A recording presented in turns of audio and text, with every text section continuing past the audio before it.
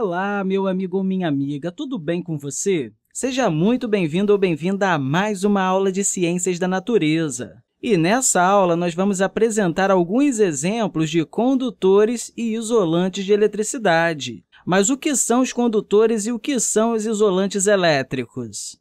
Os condutores de eletricidade são materiais que conduzem com muita facilidade as cargas elétricas. Dessa forma, a energia elétrica consegue ser transportada com mais facilidade através deles. Já os isolantes de eletricidade são materiais que não conduzem com facilidade as cargas elétricas. Dessa forma, a energia elétrica não consegue ser transportada com facilidade através deles.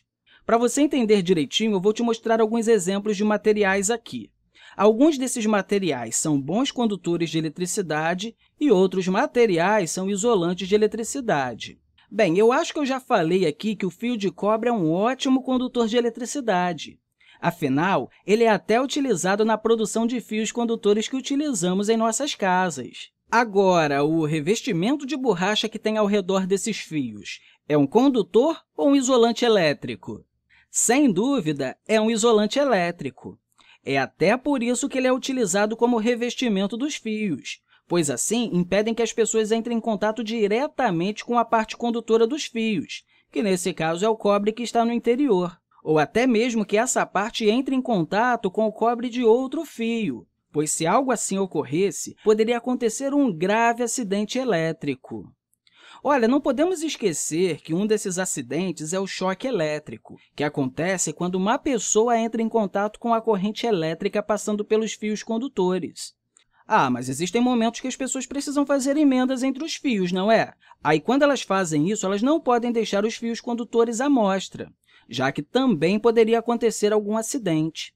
Por isso que é muito comum a gente utilizar uma fita adesiva, que normalmente é feita de um material isolante, justamente para isolar essa parte do fio. Não é à toa que essa fita é chamada de fita isolante.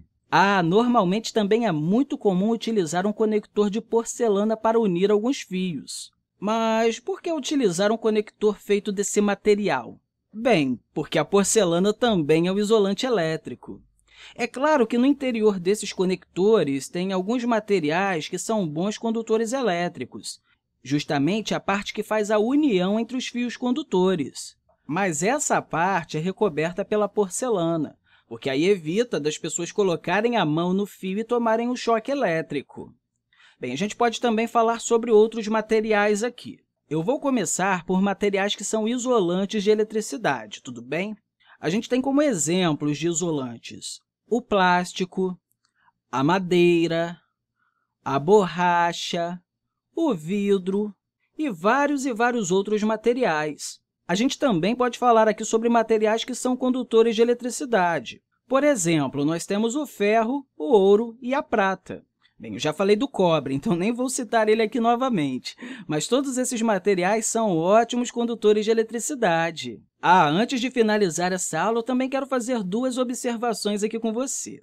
A primeira é sobre a água, porque muitas pessoas pensam que a água é condutora de eletricidade. Na verdade, ela não é. Ela é um isolante elétrico. O caso é que a água que encontramos em diversos lugares, como no rio, na piscina ou até mesmo a água que bebemos, possui muitos metais e sais que conduzem a eletricidade. Então, na verdade, não é a água que conduz a eletricidade, mas sim esses sais e metais. Se a gente tivesse uma água pura, uma água que não tivesse nenhum sal e nenhum metal, ela não conduziria a eletricidade. Ah, outra coisa também que eu quero falar com você, e que, inclusive, deixa muitas pessoas com dúvida, é sobre o ar que está à nossa volta. Afinal, o ar é um isolante ou é um condutor de eletricidade? Bem, depende. Mas como assim depende? Lembra que eu falei com você que todos os dispositivos têm dois terminais, um positivo e um negativo? Então, se a gente tiver uma diferença pequena entre o positivo de uma bateria e o negativo de um dispositivo, como, por exemplo, o de uma lâmpada, o ar não vai conduzir a eletricidade, e, com isso, não vai ser formada uma corrente elétrica entre a pilha e a lâmpada. Porém, se a diferença entre o positivo da pilha e o negativo da lâmpada for muito grande, O ar vai conduzir a eletricidade e, com isso, uma corrente elétrica vai ser estabelecida entre a pilha e a lâmpada. Ah, é claro que na prática do dia a dia isso não acontece com uma pilha comum que a gente usa. Isso é ótimo, né? senão a gente estaria presenciando isso o tempo todo. Afinal, essa pilha não é capaz de fazer uma diferença entre o positivo e o negativo de uma forma tão grande. Porém, a gente percebe isso acontecendo na natureza, principalmente quando está ocorrendo uma tempestade. As nuvens ficam tão eletrizadas que ficam com muita carga elétrica acumulada.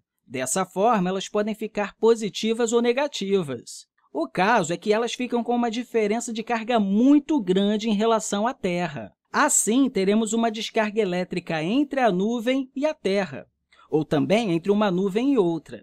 Ou seja, uma corrente elétrica vai ser estabelecida no ar. Nesse caso, o ar vai se comportar como um condutor de eletricidade. Bem, para isso ficar aqui bem mais claro para você, se a diferença entre o positivo e o negativo entre dois pontos for pequena, o ar não conduz eletricidade, ou seja, ele é um isolante. Porém, se a diferença entre o positivo e o negativo for muito grande, o ar acaba se tornando um condutor elétrico e conduzindo a eletricidade. Ah, essa diferença entre o positivo e o negativo costuma ser chamada de tensão ou também de diferença de potencial.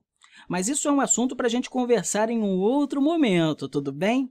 O importante agora é que você saiba a diferença entre os materiais condutores e os materiais isolantes de eletricidade. Ou seja, que os condutores conduzem muito bem as cargas elétricas e os isolantes não conduzem nada bem as cargas elétricas. Bem, eu espero que você tenha compreendido tudo isso que a gente conversou e, mais uma vez, eu quero deixar aqui para você um grande abraço e até a próxima!